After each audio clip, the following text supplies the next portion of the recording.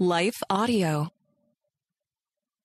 If you are following along with the devotional content in the She Hears Bible study, today you're most likely on day five. But if you're not, that's okay.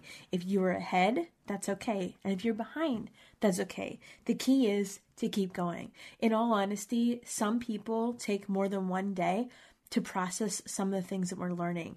For you, maybe it's the first time you've heard some of this stuff, or maybe it's something you just need to sit with for a while. I want you to know that this podcast content and the She Hears Bible study is not going anywhere. And so if you need to listen to a certain episode once or twice or five times until you get it, that's okay, and you're not alone. What I want you to know is that God's Word the goal of it is for it to sink in deep in your heart. So make it makes a difference not just for what you think, but how you act and how you feel. So, friend, be encouraged. Don't give up. You got this. Hey, friends, welcome to the Hearing Jesus podcast.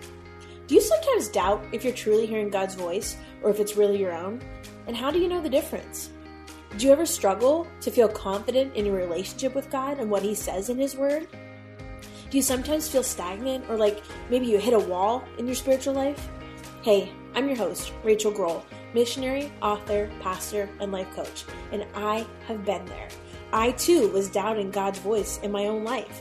I felt insecure about my relationship with Him, and I wanted to be obedient to what God was calling me to do, but I wasn't quite sure how to figure out what that was. I felt like I was wasting time trying to figure it out, and I just wanted a way to understand His will for my life. The answer for me was found in the pages of the scriptures as I learned how to understand what they were actually saying. If you're ready to grow in your faith and to step confidently into the calling God has for you, then join me as we dig deep into God's Word so that you can learn to live out your faith in your everyday life. Hey, friends, welcome back to the Hearing Jesus podcast. I'm your host, Rachael Groll, and today we are finishing up day five of the chapter of Mary, the devotional content, and today we're talking about the witness. So, John chapter 2, verses 1 through 11. On the third day, there was a wedding in Cana of Galilee, and the mother of Jesus was there, and both Jesus and his disciples were invited to the wedding. When the wine ran out, the mother of Jesus said to him, They have no wine. And Jesus said to her, Woman, what does that have to do with us? My hour has not yet come.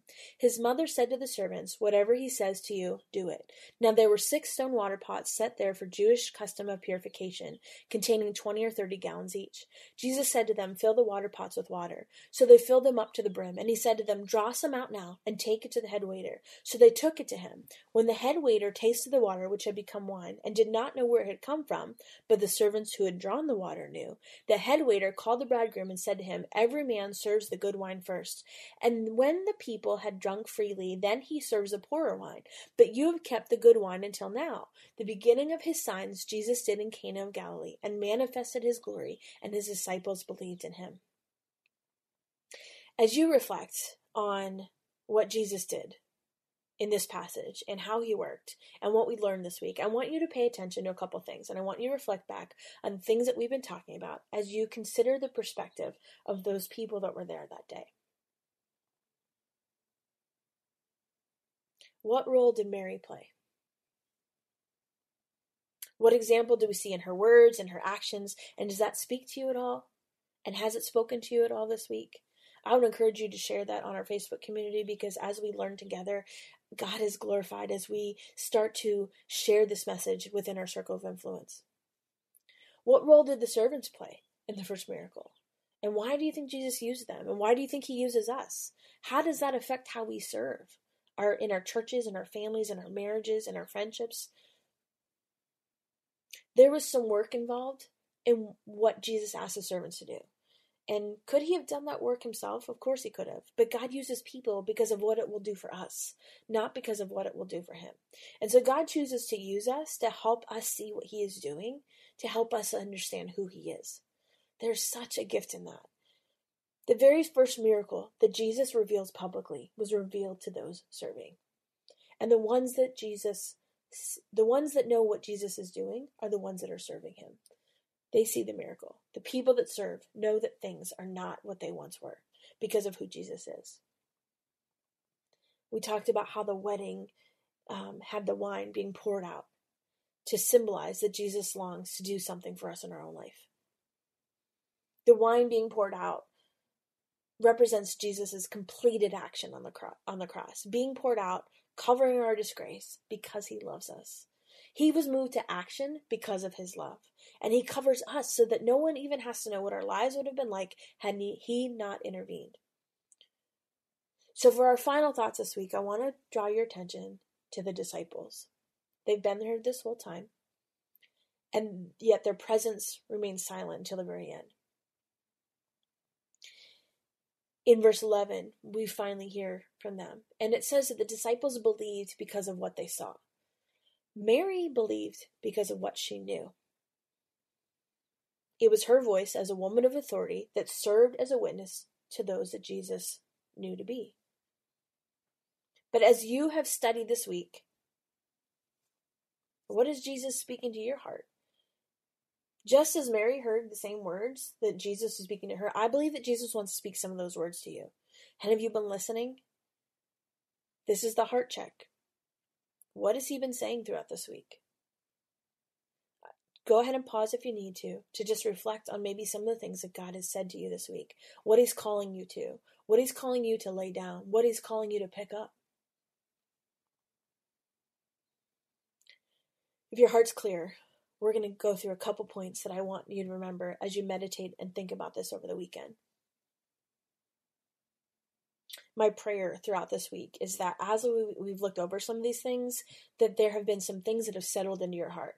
And so Mary's role in the story, as we've studied throughout the week, it reveals so much to us about who Jesus is. So number one, the miracle of turning water into wine is the first time Jesus performs any public miracle or sign. That sometimes gets overlooked when you're simply just reading through the text. And so there's this theological concept we have. We talk about it in, uh, you know, seminaries and things like that. It's called the law of the first mention. And so, to put it simply, it basically means that there's a special significance about the first time something is mentioned in Scripture. And so, it kind of sets the tone for the rest of the time that those types of scenarios are mentioned. And so, the first time it's mentioned, it carries a little bit more weight. And so, since this is the first miracle, this first public miracle that Jesus chose to reveal in public, at least to the servants, then we have to pay attention to what that significance carries. And so, after studying this miracle all week, what do you think the significance is of this first public miracle at Cana? As you ponder that, we're going to take a quick break. And when we come back, we're going to finish talking about how Jesus calls us to radical faith. Stay tuned. I want you to think on that. The second thing I want you to think on is Jesus was invited. See, Jesus can't really produce a miracle for us if we don't first invite him into our lives. And so, my question for you is have you invited him in truly to every area of your life? And so, I want you to take some time to really think on that. Have you invited him into those spaces? Or are there areas that you're keeping from him? The third thing I want you to think about is taking your problem to Jesus. So Mary didn't tell him what to do, and she didn't complain about what he didn't do. She didn't tell him what she was planning to do, or she didn't go ahead and do it and then ask him to bless it. She took him the problem. What do you need to take to him? And have you done that? And if not, I want you to do that this weekend. So spend some time doing that. Number four, Jesus calls us to radical faith and radical service. And so when Mary got the unexpected response, her faith, we see, does not waver. She acted in faith despite what she saw and what she heard. So there were no committees, there were no phone calls, there was no option. And I believe that the ones that are obedient right away are the ones that are in the best possible space to experience the hand of God, the miracle of God.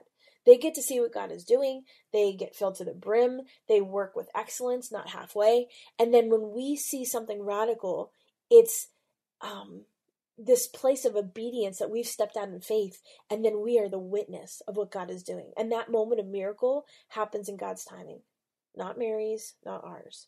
But we get to see that when we are obedient. Have you responded when God asks something of you that you didn't expect or understand? If so, do you need to talk to him about that? Or do you need to reconcile your response? Number five, and this is the last one, he covers our disgrace. So his choice wine, as, as the scripture calls it, it covers our disgrace in the way that we don't even know. Before you were even born, your disgrace was covered by the very act of Jesus pouring himself out for you on the cross. Are there things that you're holding on to or a disgrace that you have? Are those things that you're keeping from him? He already knows them. He already knows. It's time to deal with them. So take some time to confess them so that he can cover them.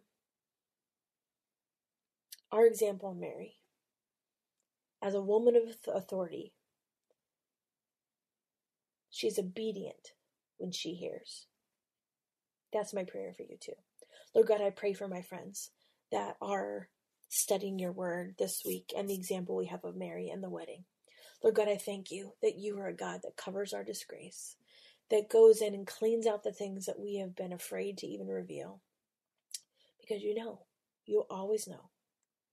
Lord, I pray that as you reveal things to my friend, that they would start to hand them over, even though it's difficult and hard, and invite you into those spaces that they thought were dead, that they thought were too messy, that as you started to reveal yourself, maybe you revealed some areas of their lives that they need to hand over. Lord God, I pray that you would give them the strength to be obedient.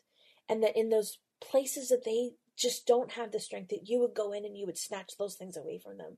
Lord God, we thank you that you are a God of mercy and tenderness and grace. Lord, I pray that you would continue to work in the life of my friends. I praise you for who you are and the way that you draw us to yourself. In Jesus' name, amen. I know you've been frustrated with being confident in how to tell the difference between hearing from God and wondering if it's your own voice. Listen, I know. I've been there myself. That's why I wrote the Bible study, She Hears Learning to Listen to Jesus. This is a six week study that takes you through the book of John, looking at six women in the life of Jesus. It also teaches the color method of Bible study, which helps you to learn how to really understand the scriptures. I include lots of cultural and historical information, and it really makes these familiar passages of scripture just come alive.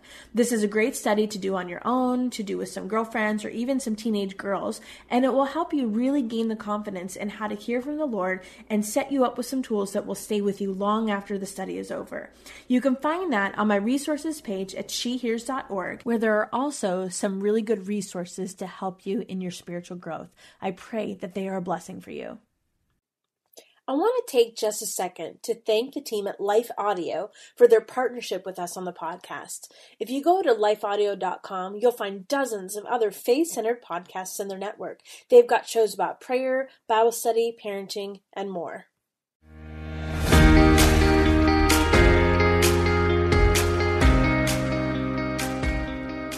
Hey, friends, if this podcast helped encourage, empower, or equip you for God's call in your life, I would love it if you would head over to Apple Podcasts and leave me a review. That's the number one way you can support my show. You can also join our free Facebook community or Instagram page where I share inspirational tips, resources, and prayer throughout the week.